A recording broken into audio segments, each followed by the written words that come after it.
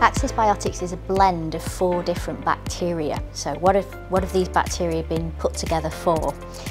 So psoriasis is really a condition of the immune system. So the immune system is a bit overactive in people with psoriasis and in particular there are two chemicals of the immune system that are very much more prevalent than they should be in people with psoriasis. So these are interleukin 17 and interleukin 23 and people with psoriasis have much higher levels of these two chemicals than healthy people.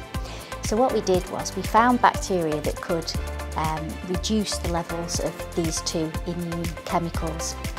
The other thing that we did was we looked for bacteria that could strengthen the gut barrier because there is some evidence that the gut barrier might be a little bit leaky in people with psoriasis. So it's a blend of four different bacteria that have been designed to lower interleukin 17 and 23 and enhance the gut barrier.